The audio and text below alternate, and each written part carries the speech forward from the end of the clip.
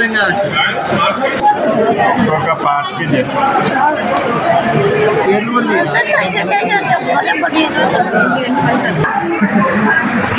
Ada tapi